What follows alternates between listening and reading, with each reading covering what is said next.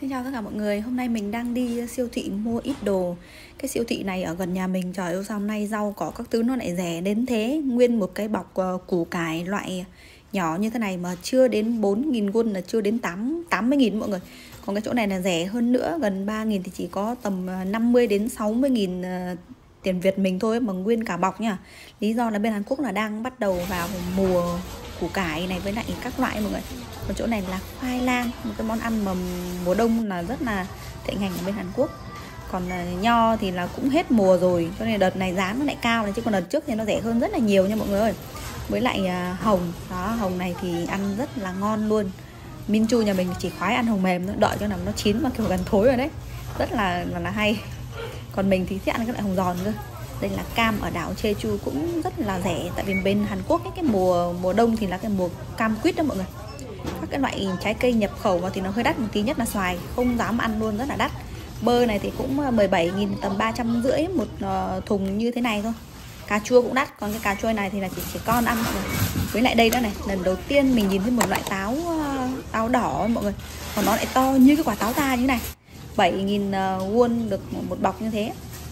Và các loại chuối chuối thì nhiều chị hỏi là có phải bên Việt Nam nhập sang không, nhưng mà không mọi người chuối này thì toàn là của Philippines thôi còn à, đi vào bên trong thì à, rất là nhiều loại rau được bày bán như thế này này. Nên là, kiểu, tiện lợi đó mọi người. Ở siêu thị thì là người ta à, bán theo giỏ hoặc là một cái một cái rổ nhỏ nhỏ ấy. Còn đây thì người đóng gói hết. Mình sẽ mua ít rau hôm nay ăn một cái món độc lạ nha mọi người ơi. Đây là giá đỗ một nghìn này. Với lại một ít hẹ. Cái này thì có mùa mẹ chồng mình trồng được rất là nhiều nhưng mà mùa này thì không có và thêm một cái bắp cải nữa. Cái à, cái cải thảo này thì là 4.000 mọi người ơi. Cái loại mà để người ta cuốn, cuộn ăn với thịt đấy còn đây là ớt không cay, mình cũng sẽ mua một à, túi. Còn chỗ này là các loại rau người ta phơi đi, người ta bán như này này. Như mẹ chồng mình mà nhiều bí vậy phơi đi xong có thể làm mang bán như này được luôn đấy trứng thì chắc là hôm nay mình cũng sẽ mua.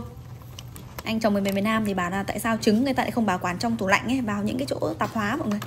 Còn bên Hàn Quốc là tất cả là phải để trong tủ lạnh hết nhé các à, loại rau củ quả người ta để ui nhiều lắm. Cái siêu thị này chuyên về rau ấy. ai mà làm nhà hàng các thứ là người ta đến đây mua thì cái giá của nó rẻ mọi người. Còn qua chỗ này là các loại mắm tương. Ai mà làm nhà hàng thì người ta sẽ mua những cái thùng à, to này. Cái chỗ gian hàng này là các loại tương chấm mọi người ơi. Cái này là tương uh, chấm thịt này. Nhiều chị nhắn tin hỏi là ngoan chụp cho chị xem với. Còn cái loại màu vàng này là để chuyên để nấu canh.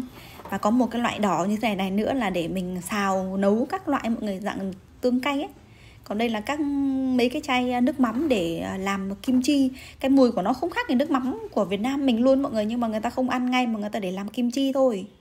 Còn cái chỗ này à, thịt thì cũng thế này, nhiều chị bảo là nhà con bên ngoan này bẩn, không thấy rửa thịt mà nướng.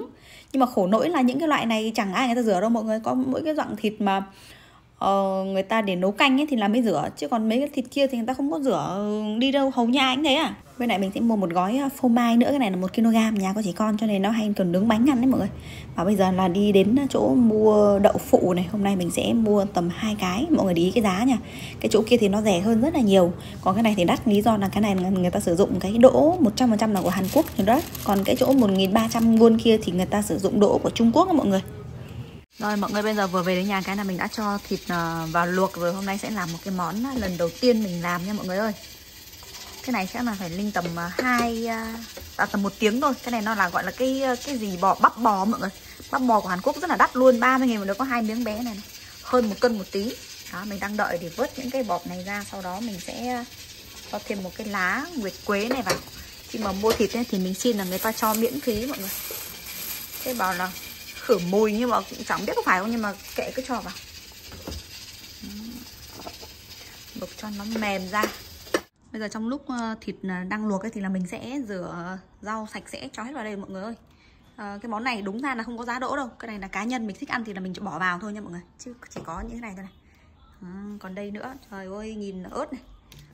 Ớt ở bên Hàn Quốc nó có cái loại ớt dưa chuột này mà ngon thế không biết mình mỗi lần phải ăn được hai ba quả như này nó không hề cay một tí nào nha mà nó kiểu giòn mọi người chấm với cái tương uh, tương đỏ chấm thịt ấy ăn rất là ngon luôn.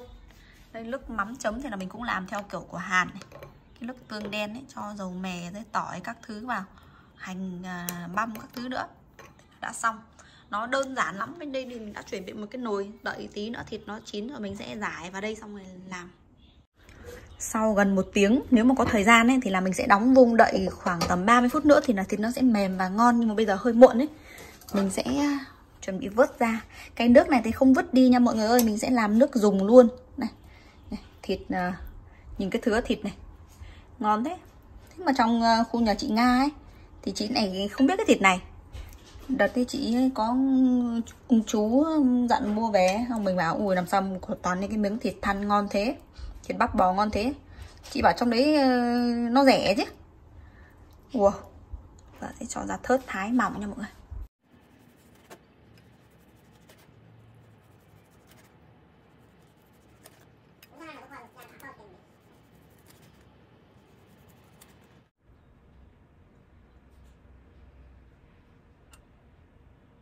Rồi thế nào cũng được ờ, một ờ, đĩa mọi người. Chỗ này gần một cân mà sao mà khi mà luộc lên nó còn ít thế không biết.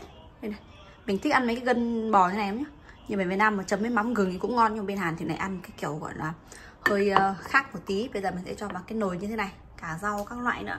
Trước tiên mình sẽ cho nấm vào này. Nấm là cái món gọi là Hầu như ai là cũng rất là thích ăn luôn. Xong rồi là đến ra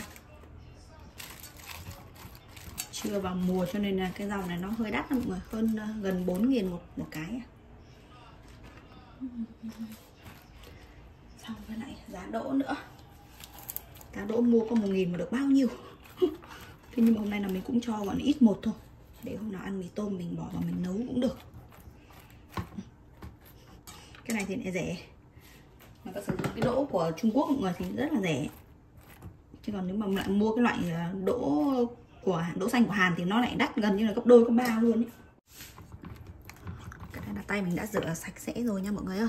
Này, giải hết thịt lên như này. Thái lên thái mỏng cho nên nhìn nó cũng, cũng không có ít mấy. Rồi.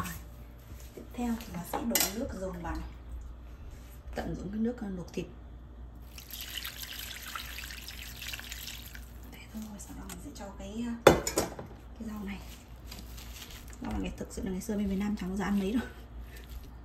Gói cuốn các thứ men thì bình thường không ăn mấy. Sang bên này người ta rất hay ăn luôn. Bây giờ mình sẽ đậy à, nắp lại. Trời ơi, cái nồi với cái nắp và tìm một lúc mới mới ra tại vì lâu lắm rồi không có sử dụng đến cái này nó lại quá quá nhỏ cho nên nhiều khi mình không dùng đến.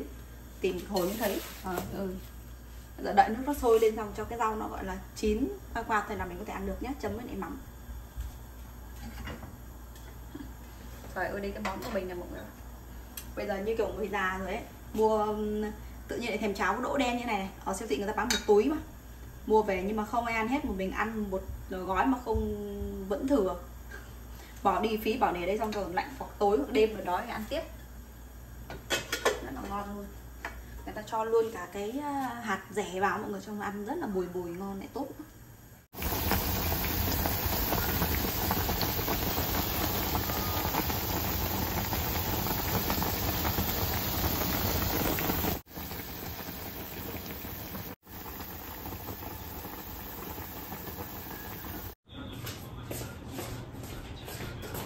bây giờ mình sẽ để vào đây xong mình bật bếp ga đi mọi người vừa ăn gọi là cũng kiểu nóng hổi ấy.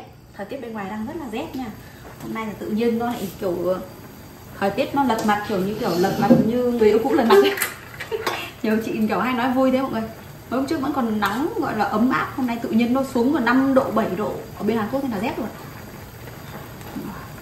Opa, thấy rồi Thái cho mình ra đây ăn cho nó ờ, lúc nóng cho nó ngon hôm nay không có món gì khác mà chỉ có thế này thôi đây là cái đĩa của mình anh chồng mình thì lại không thích ăn cái này mấy tại vì nó không cay mọi người phải có thích ăn cái kiểu cay thôi nhưng mà mình thì lại ăn cái loại này thì thấy rất là ngon rồi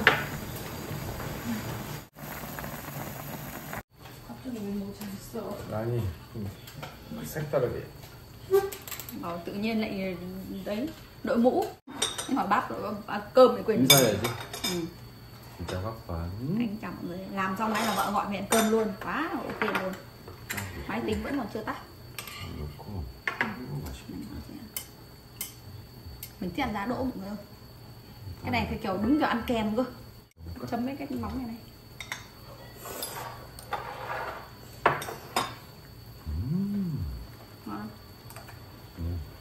Ngon. Ừ. Thịt ăn từng miếng bông sợ nó không có dai xin mời tất cả mọi người ăn cùng với hai vợ chồng mình nhé tí lại quên lại không ăn để mời mọi người lại chạy 기가 막힌데? Ừm,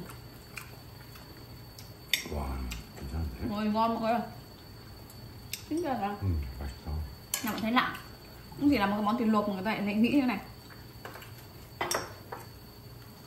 chấm với mắm cái mắm này mắm à, đặc của Hàn luôn thì cũng dạng như là dạng lẩu mọi người bên Việt Nam thì gọi là lẩu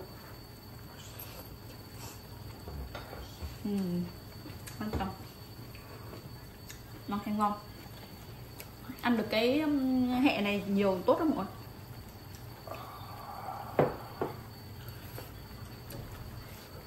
아까 뭐 저기 마트에 갔더니 음, 소주값 모른다고 사람들이 음. 막 박스로 나가는 거야 얼마? 많이 오른다는데? 그래갖고 bè nó cứ nó anh chồng bà này đi siêu thị. Thấy mấy người đi mua cùng em tại vì ờ, chỗ không năm tại vì ờ, người ta đồn nhau là giá rượu lên ờ, rất là nhiều. Bán người mua cả thùng về mọi người. Với lại nhiều chị à mọi người mọi người đừng hiểu lầm nha rượu bên Hàn Quốc nó rất là nhẹ. Nó rất là nhẹ cho nên là từ phụ nữ học sinh cứ, đến cái độ tuổi mà ngoài 20 là cái được phép uống rượu là người ta uống rất là nhiều chứ không phải là anh chồng mình anh là cái dạng kiểu nghiện rượu xong chí phèo không phải đâu. Ai người ta uống ấy? Mình không uống là thấy lạ bia không uống rượu không uống cà phê không uống. Đi với mấy chị người hàng các chị chê đấy. các chị bảo thế thì cuộc sống có cái gì mà thú vị nữa. Ủa. cái ớt này mẹ mình không trồng được mọi người ơi. Mình thích ăn mà mẹ mình không trồng được. Cái trồng cái giống nó có ra cay thôi. Rõ ràng là lúc hạt thì là hạt ớt gọi là dưa chuột rồi nhưng mà lúc ăn nó vẫn cay. 음, 크게 크게 먹어 응? 먹방 유튜버처럼 크게 음, 진짜 맛있어 đúng đấy ớt này ngon thật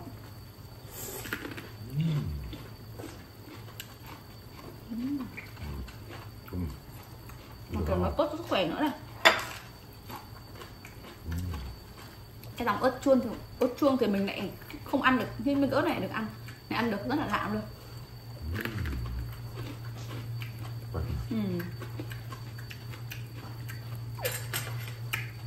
막히다 음. 맛있어 음. 이 정도까지 기대 못했는데. 민지야 엄마 줄게 그릇에? 이 정도까지는 기대 안 했는데 기가 막히네. 상상 이상이네 hả ừ. mình chưa ăn wow. 맛있어. 딱딱 샤브샤브보다 훨씬 맛있어 mà ngon hơn là cái lẩu thịt bò cái này thì nó cũng là thịt bò mà có điều thịt bò nên bắp bắp bò bên Hàn thì nó bán hơi đắt một tí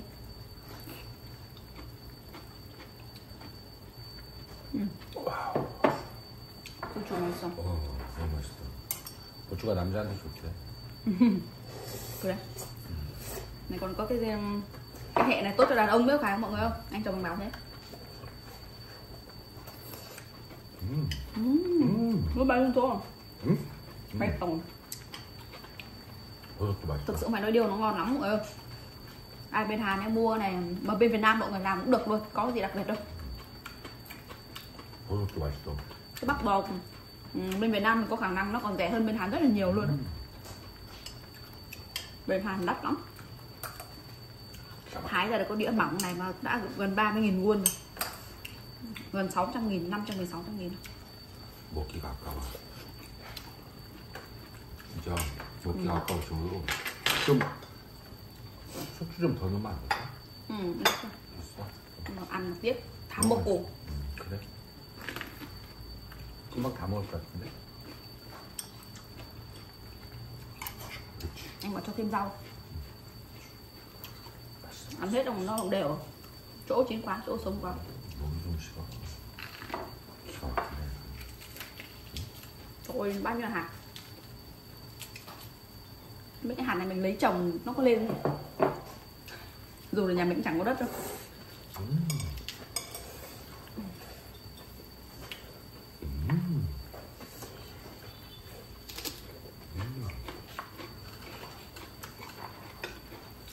Ông mày sẽ kể. Muốn theo là mua sẵn, làm sẵn nhà mình xong rồi mang về quê nấu với mẹ mình ăn bữa. 얼마나 국물을 좋아하냐? và nấu cái món này các mẹ chỉ ăn nước thôi tại vì nó không có mỡ mọi người ăn dễ ăn 간장 맛있겠지 음. 똑같이 식당에서 먹는 것보다 음, 맛있어. ăn ngon hơn ở nhà hàng luôn 진짜 거짓말 없어. 아, 그래. 어, 존경스럽네. 어, 사랑스럽네. Ừ? 사랑스러워. anh còn mình đáng yêu 기가 막히다. 우리 이선 음. 칭찬해. 음.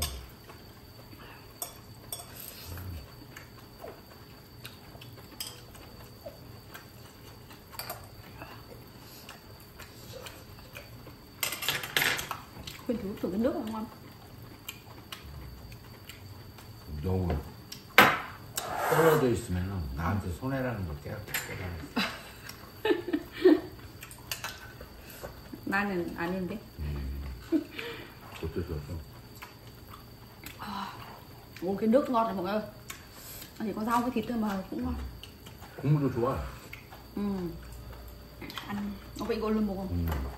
Ăn nhiều cái hẹ không đâu sợ nó chín quá Thực sự là mình chưa bỏ hết rau đâu sợ nhiều quá không ăn hết mọi người ơi còn thịt thì vừa nãy nhìn công nhận là ít thật thế bây giờ ăn cũng thấy là ăn kèm với rau cũng thấy không thấy ít quá trời, trời.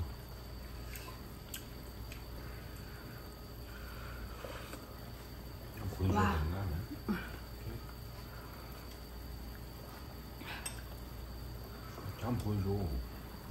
Wow. Trời ơi. Anh bật phải cho khán giả xem nữa, bỏ tay. Kêu kêu. 아, 술이 술술술 들어가네. 응? 술이 술술술술 들어가. Cứ gạ mình học ngồi uống rượu mọi người anh chồng mình ấy 이 소주. Mấy đứa cháu con em trai ấy Nó uống giỏi lắm 음, Mỗi lần nó uống ấy hai ba chai 음. đến hết cái độ tuổi vị thành niên ngày đầu tiên phát là những cái quán rượu ấy 겨. mấy cái bạn dặn bạn uống ác lắm 음. bên bên Hàn Quốc nha ờ, khi mà mình mua mua rượu bia các thứ mọi người thuốc lá ấy là phải trên 18 tuổi nhé hoặc là nhìn mà trẻ quá thì người ta sẽ đòi hỏi là cái chứng minh thư cho người ta xem chứ không phải như bên Việt Nam mình hồi bé mình chuyên gia đi mua rượu cho bố đâu